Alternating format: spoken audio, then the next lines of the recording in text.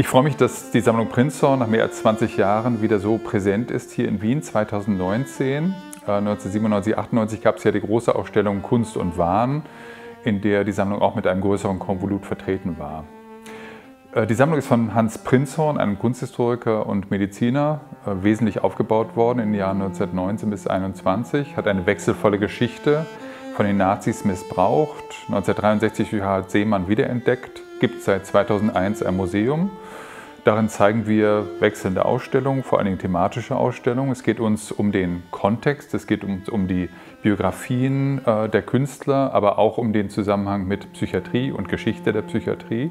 Wir machen selten Überblicksausstellungen und insofern freuen wir uns, wenn Kuratoren ab und an mal die Idee haben, eine Ausstellung der Sammlung zu machen. Das Besondere an dieser Ausstellung ist, dass wir etwa ein Drittel der Werke haben, die noch niemals, auch nicht zu Zeiten Prinzhorns, gezeigt wurden.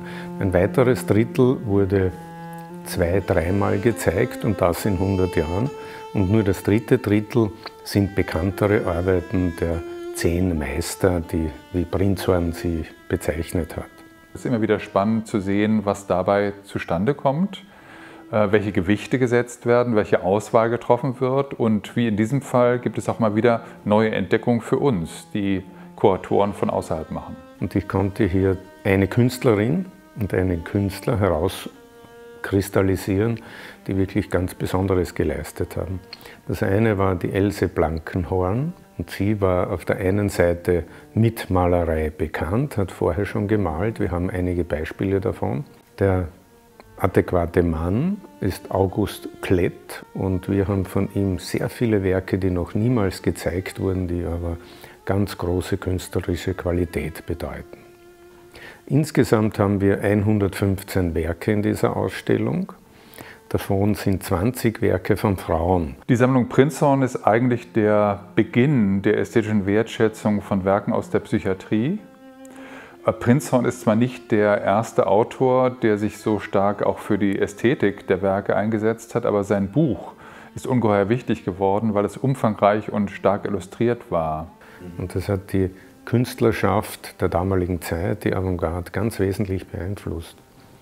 Die ganzen französischen Surrealisten zum Beispiel ja, waren begeistert und haben es ihre Bibel genannt. Und Prinzhorn behauptet als erster, es gebe keine festlegbaren Charakteristika, Merkmale schizophrener Bildnerei sozusagen, sondern sagt, die Werke sind alle individuell und man muss sie als solche wertschätzen. Man hat das ja nicht als bildende Kunst gesehen, sondern als Symptom einer Krankheit.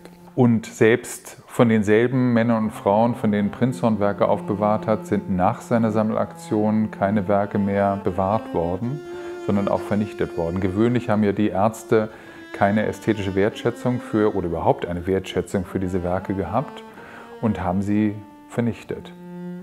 Der große Unterschied zur Gegenwart äh, in dieser Sammlung ist, dass diese Werke spontan entstanden sind. Die Arbeiten, die in der Prinzhorn-Sammlung äh, zusammengekommen sind, waren eben von Menschen, die auf bildnerischen Sektor sich betätigt haben.